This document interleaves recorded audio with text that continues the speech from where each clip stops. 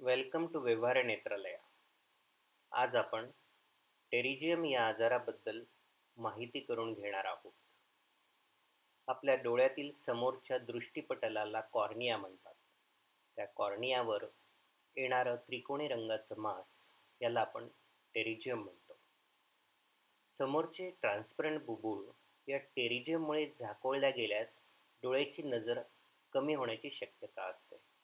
आणि हा आजार साधारणत नाकाकडनं डोळ्यावर वाढतो.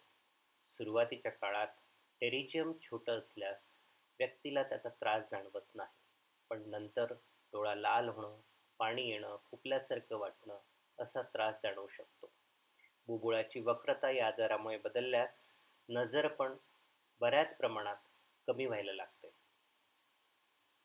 अगदी सुरुवातीच्या काळामध्ये जेव्हा टेरिजम छोटा असतो अशा वेळेस व्यक्तीला ट्रीटमेंटची गरज नसते.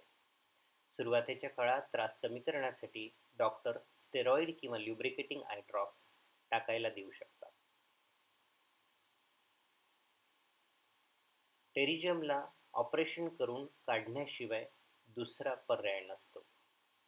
बुबुळावर वाढलेलं मांस काढण्यासाठी जी शस्त्रक्रिया केली जाते ती ॲटॉलॉगस कंजंक्टायवल ग्राफ्टिकनी केली तर परत मास येण्याची शक्यता कमी असते. हे मास काढून सर्जन वरील भागातील हेल्दी कंजंक्टेवा तिथे ग्राफ्ट करतात. त्यामुळे टेरिजियम परत येण्याची शक्यता खूप कमी होते. हा ग्राफ्ट आपण एकतर टाक्याने लावू शकतो किंवा त्याच्यासाठी ग्लू वापरू शकतो. काही व्यक्तींना टेरिजियम काढल्यानंतर पांढऱ्या रंगाचा डाग राहू शकतो. हा डाग कमी करण्यासाठी सर्जन पॉलिशिंग करू शकतात किंवा त्याला टॅटू करू शकतात. Thanks for watching.